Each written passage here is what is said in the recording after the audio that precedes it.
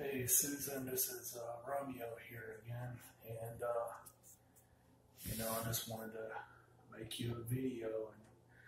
tell you that you know I'm thinking about you, and uh, you know I remember how our favorite band you know was Guns N' Roses, and uh, you know Guns N' Roses was just such a big, huge part of our life. You know, was talking about you know, if Axl and Slash were going to get back together and uh, just listening to their music and watching their concert videos on YouTube all the time, you know, and uh, it was just uh, so disappointing, you know, when I went to Las Vegas and uh, and he didn't show up there, you know, because we used to always talk about, you know, if Guns N' Roses ever would get back together, you know, that, you know, we would we would go see them no matter what. And, uh, you know, I just thought that, you know, when I went to go see Guns N' Roses, it's like part of me thought that maybe you would surprise me, you know, and you would be there, you know. and that's why I tried to let you know before I went that, you know, I was going to be there and where I was going to be, you know, and uh, that's part of the reason why I just walked out of the concert because it just, you know, it wasn't very good without you there. Uh, you know, I just always like to try to share things with you. You know,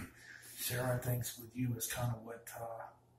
made things so great anyway. Like anything I did, you know, anything I, you could think of doing,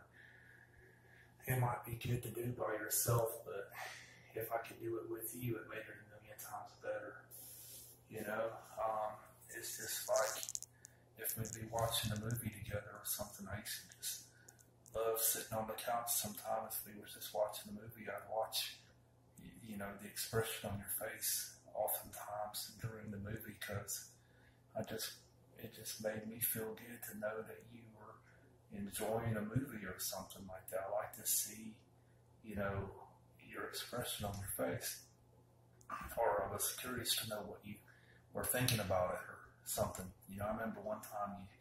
we were watching movies and you told me, "Why are you staring at me? Why do you keep looking at me? Quit looking at me. You know, just watch the movie." But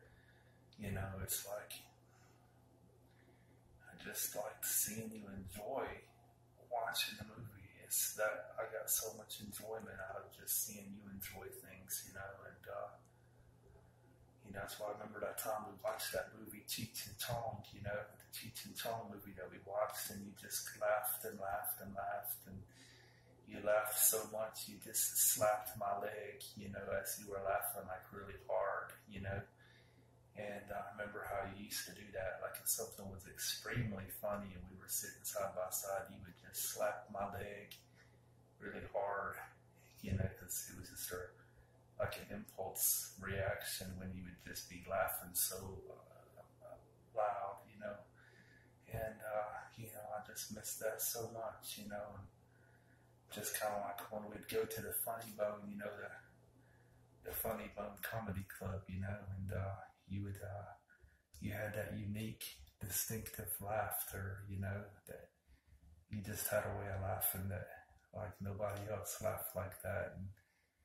and when you laughed, then everybody else would start laughing too, like you were the lead laughter, you were the lead laugher, you know, and, uh, I just think about all those things all the time, you know, whenever I have time to think about anything, and which is not a whole lot, but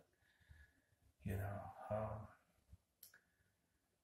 just it just made me sad that you weren't there in Las Vegas, you know, to see Guns N' Roses with me because it wasn't really worth a shit without you, and it would have been a whole lot better, you know, if you would have been there, and. uh you know, I just couldn't even stay long enough to see the, the November Rain, you know, because that was really our song, you know, and uh, there just wasn't going to be no way I could watch, you know, stay and watch, you know, November Rain, you know, without you, you know, and uh, so I just, you know, I was to have to leave that concert anyways, you know, I just, I don't know, I guess I just kind of hoped that you would, uh, you would, uh, you know, kind of be there and it would be like this reunion, you know, to where like the first time when we met, you know, when you met me at the airport, you know, and we just wanted to run into each other's arms like you see in all the classic movies, you know, and uh,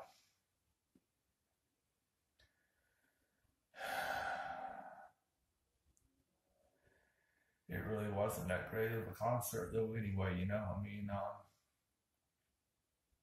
it's kind of like you said, one day they'd get back together, but it would only be for the money and everything, you know, because Axl, but you know, it isn't really the same, you know, not having Steven Adler and Izzy Stradlin, you know, because Izzy Stradlin was responsible for writing most of the songs, and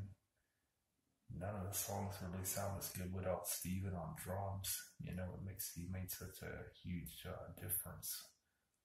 in the feel of the songs. And it just seems really mean, you know, the way that Axl Rose and the rest of the band have treated Steven Adler. He was really the nicest guy in that band. And he was always the most positive person in the band, you know, and he just loves that band so much and they won't even hardly play with him anymore, you know, and uh, it's really depressing too. And uh,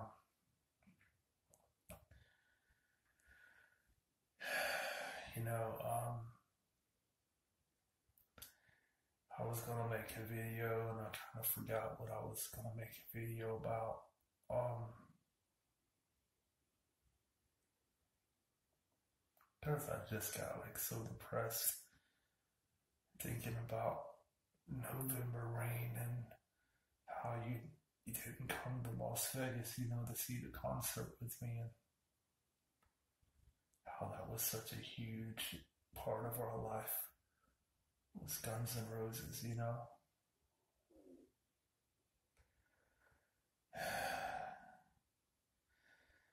And I remember, you know, how exciting it was for us, you know, to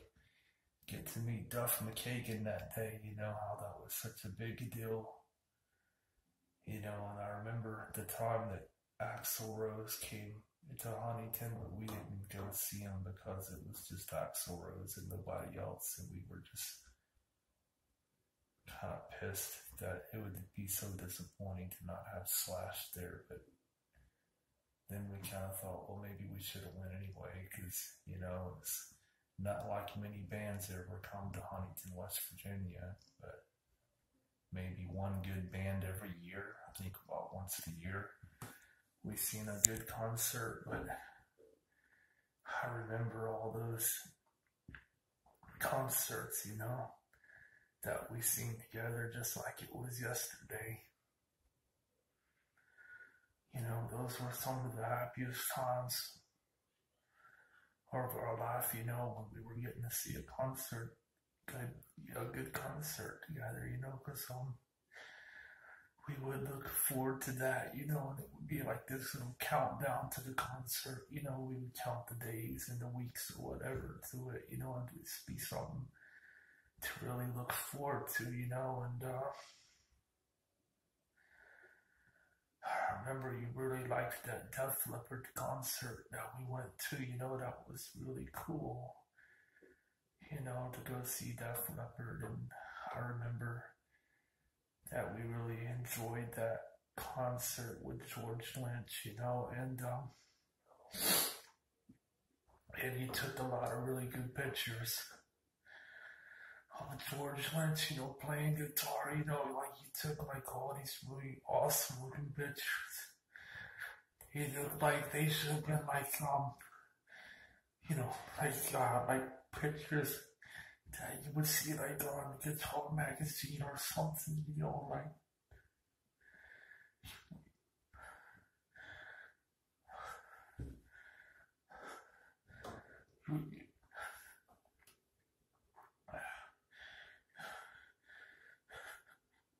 You were really good at taking pictures.